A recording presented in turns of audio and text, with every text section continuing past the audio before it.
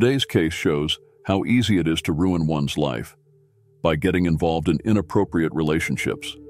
And this ruined life applies in this case to everyone involved. William Douglas is a prominent scientist and a settled father of a family.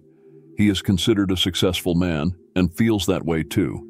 He is fully satisfied with his life and often calls himself a lucky man.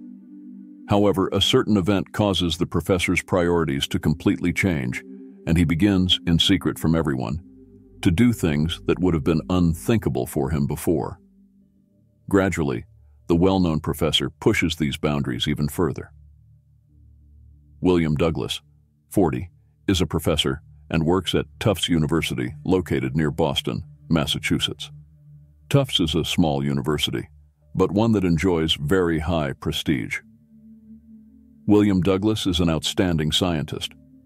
He runs a laboratory in the biology department, and his specialty is cell biology. William, who uses the name Bill exclusively in everyday life, is called the jewel of the department by his colleagues, as he obtains an exceptional number of research grants for the department. Thus, at the university, everyone appreciates him for both his professionalism and efficiency. Of course, this comes at a not inconsiderable cost. Bill works a lot. He shows up at the lab every day before 6 a.m. and usually leaves work after 7 p.m. If the professor is not in the lab, he is somewhere on the road, as he often travels to meetings and conferences, including to universities in other cities. Despite this, Bill has a successful family life. His wife Nancy does not work and takes care of raising their three children and all household duties. The couple live in Sharon, located near Boston. They have a very nice house with a garden and lead a quiet, orderly life. Their relationship is considered happy. Bill and Nancy also feel that way about each other. They have been together forever. They met while they were still in college, and each of them is still the other's first and only partner.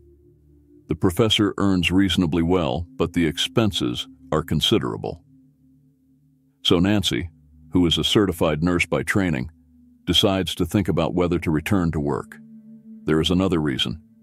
Taking care of growing children no longer consumes as much energy as before, and 40-year-old Nancy is simply beginning to miss her own professional life. It's mid-1981 when the woman gets hired at a nursing home. She works there exclusively at night, so she and Bill spend even less time together than before. For when Bill comes home, Nancy leaves the house. Nevertheless, they are happy to spend the remaining short moments together, and their family life functions perfectly. However, it only lasts until one day, for then and coincidence changes everything. In November, the university authorities organize a special banquet for Bill, as they want to celebrate the fact that thanks to him, the department has received a particularly attractive grant. The party drags on. Bill finds that he won't be able to catch the last return train, so he decides not to go home for the night. He doesn't want to sleep and goes for a walk around the city. His college building borders the combat zone, Boston's red light district. That's where Bill goes. He eventually enters one of the bars. As he sips his drink, a young, attractive woman sits down next to him. Bill is intimidated, but the conversation moves smoothly. The man is impressed by the personal charm and intelligence of his new companion, and the affection is, it seems, mutual. The woman's name is Robin. She's 20 years old, interested in graphic design and drawing, and can talk about it in an interesting way. Her beauty is natural, and Robin is also not wearing a provocative outfit. So Bill is all the more surprised when a new acquaintance offers him an hour-long meeting at her place for the price of $100. This is quite a large amount for him. However, the man agrees and goes with Robin to her apartment. Bill returns home in the morning. He explains to his wife that the last evening train was missed and he had to spend the night in the laboratory. Only the first part of the statement is true, of course, but his wife has no suspicions. Bill can't stop thinking about the past night.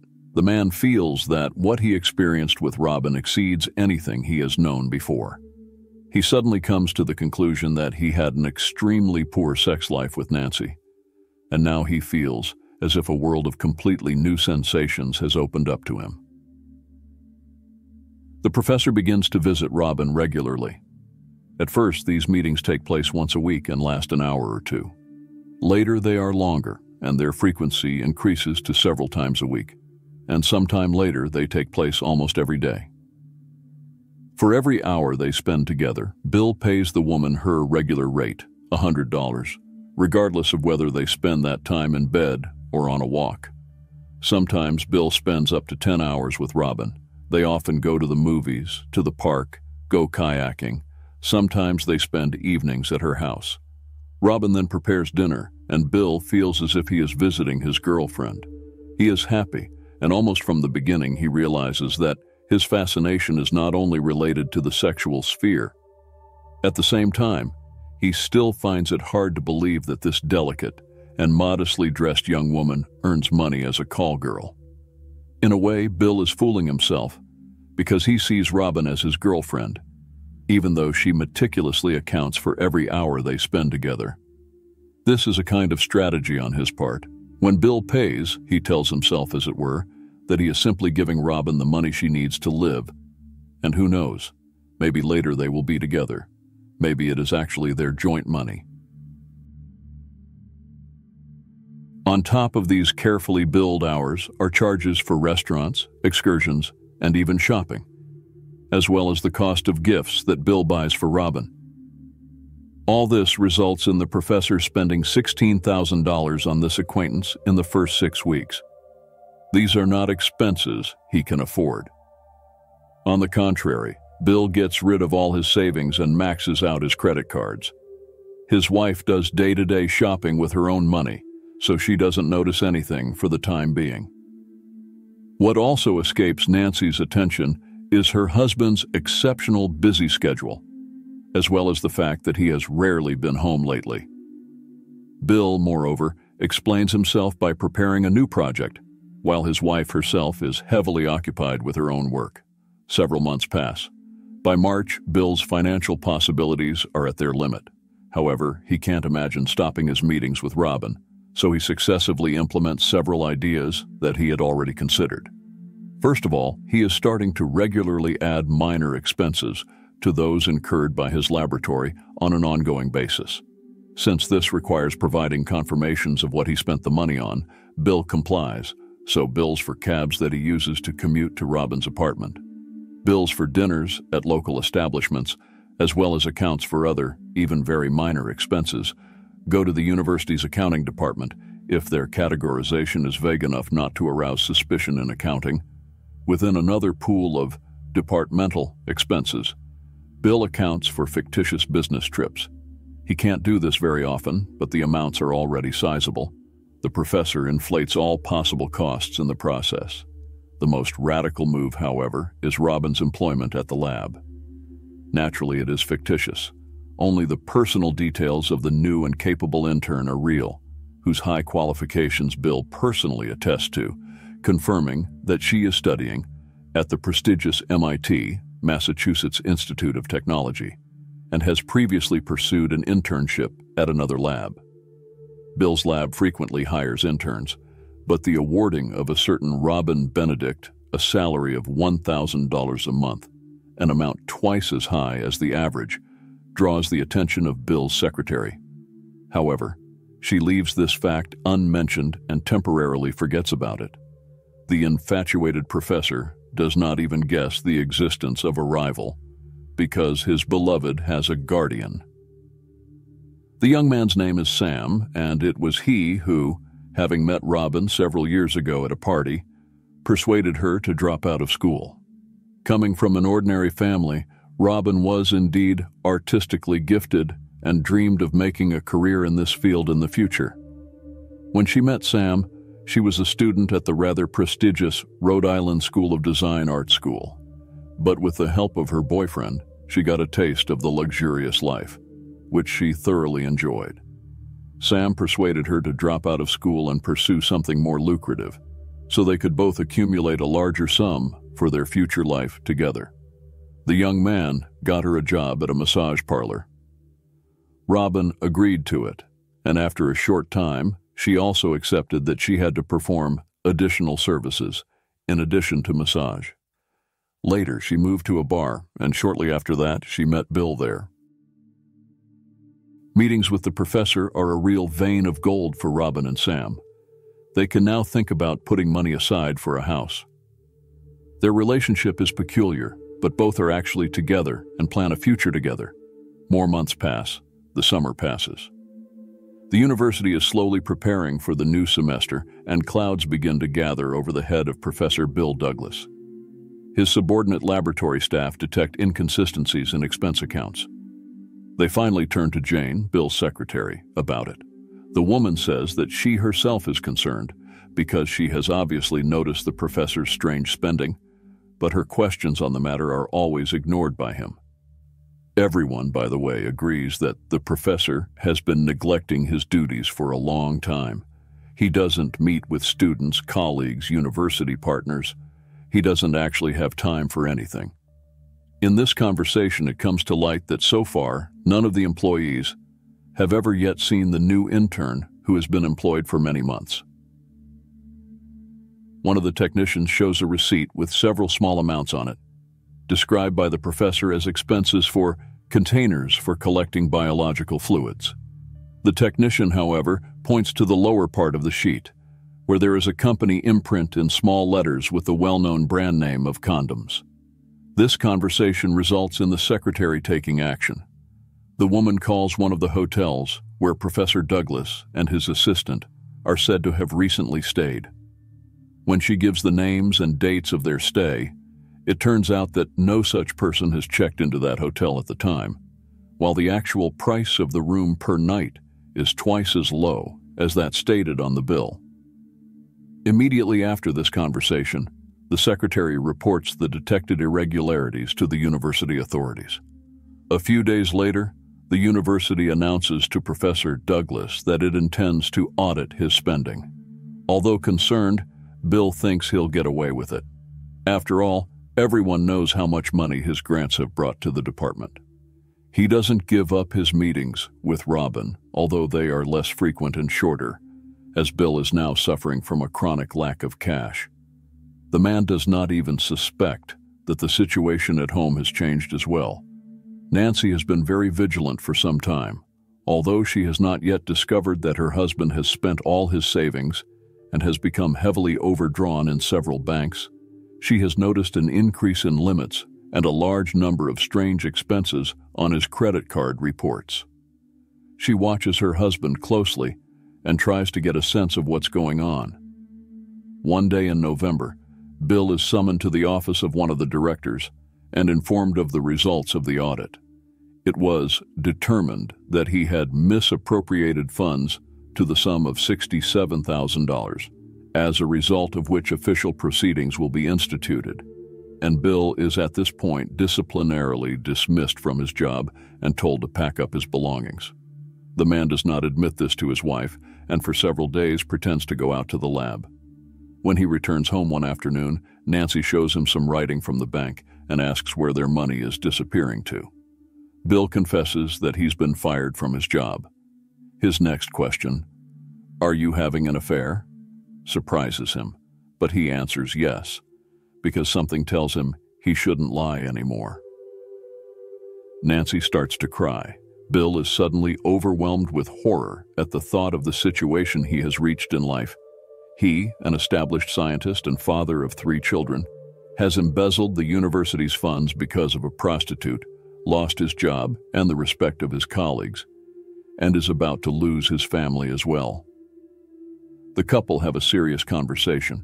Bill admits to an affair with a prostitute, but assures that he will put an end to it and that everything will change. The wife wants to save the family and agrees to give him a chance. Nancy resigns from her job. She can afford to do so because Bill's university, as it soon turns out, can't fire him from his job, and certainly not overnight. Because, with the indefinite contract the professor has, it's quite a complicated matter, despite the charges against him. Bill and Nancy are now spending a lot of time together and feel like they are rediscovering their relationship. Everything is therefore, it seems, on a very good track. Bill is indeed not seeing Robin. She also does not seek contact with him.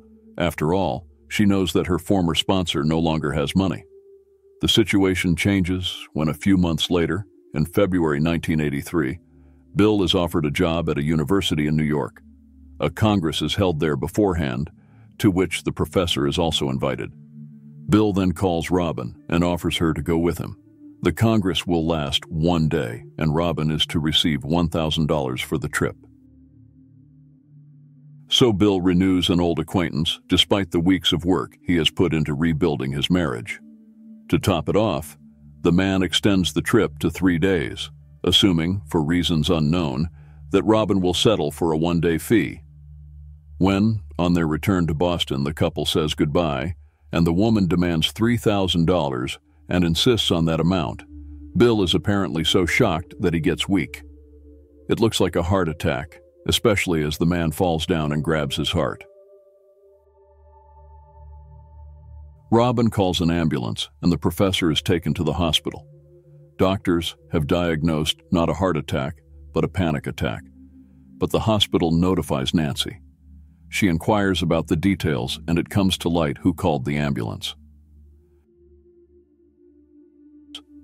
The wife thus already knows that Bill has not kept his word. This is a huge blow to her, but the woman decides to hold off on making decisions. For the time being, the spouses simply do not talk to each other. It is March 8th when Sam, Robin's boyfriend, reports his girlfriend missing to the police in Boston.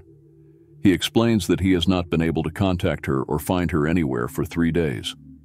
Robin is listed as a prostitute, and the cops recognize Sam as her pimp so they refuse to accept the report, explaining that the woman has probably run away, obliterating all traces behind her. When the missing woman's family joins in and gets the media involved, the police take action. Then it turns out that on March 6th, an unemployed man who was searching through trash pails along a highway near Boston found a bag with suspicious contents in one of them. There was a blood-stained woman's jacket and a man's shirt, as well as a hammer, also with bloodstains. The man reported it to the police, who secured the find. Investigators connect the two cases and determine that the jacket belongs to the missing Robin Benedict. In addition, the policemen already know from Sam who Robin has been seeing recently. They pay particular attention to one of the men. It's Bill Douglas, a scientist employed at Tufts University. Sam insists that the professor didn't want to get unstuck from his girlfriend. When questioned, Bill admits that Robin visited him on March 5th, but claims that she only informed him of the breakup and he accepted it. It then occurs to one of the investigators to check that the men's shirt that was in the bag, along with the jacket, is not Bill's property. The shirt has a hand-mended pocket, so, it seems, there will be no problems with recognition. It turns out that this idea is a hit. Nancy immediately confirms that it's her husband's shirt, which she recently mended herself. Later that day, Bill is arrested. During a search of his home, police find Robin's purse, which contains her credit cards and driver's license, and a notebook belonging to her with addresses. In the closet lies Bill's jacket, soiled with some substance. It looks so suspicious that the jacket is turned over for examination. The professor doesn't confess to the crime, and the police are unable to find the missing woman's body. But soon it can be considered certain that Robin is dead, as the lab detects the presence of a brain substance on the jacket. The lack of a body continues to be a problem, as it is unclear whether the prosecution will succeed in obtaining a conviction. The family is very determined to find the body and be able to bury Robin with dignity, so the two sides decide on a plea bargain in exchange for the promise of a lower sentence, Bill promises to confess to the crime and point out where the corpse was hidden.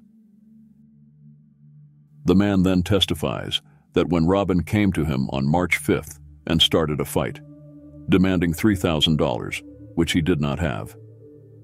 He was just alone at home, but she announced that she would repeat the visit and disregard other household members. A tug of war began, an enraged Bill grabbed a hammer and hit Robin three times very hard on the head with it. One of the blows proved fatal. The man wrapped the body in a quilt and put it in the trunk of her car. He threw the jacket, shirt, and hammer into a waste container by the highway. There was a bigger problem with the body. Bill drove around the neighborhood for a long time, thinking how to get rid of it. He eventually drove to Providence, about a hundred kilometers away, and dumped the package in a container at the mall. The police repeatedly searched the central garbage dump, where the contents of the mall containers go. Unfortunately, it is not possible to determine with sufficient accuracy where the container used at the time was emptied. William Douglas receives a sentence of 18 to 20 years in prison with the possibility of parole, but Robin's body was never found. Nancy files for divorce. In 1987, while still in prison, Bill marries 43-year-old Bonnie Jean Smith. The professor is released from prison, having served only 8.5 years of his sentence. In 1990, Benedict's family members meet with him to learn more about the case and possibly find the body. Bill does not provide any new relevant information on the case. The family's $29.5 million lawsuit, filed against Douglas, has still not been successful. And that's it for today. Goodbye and stay safe.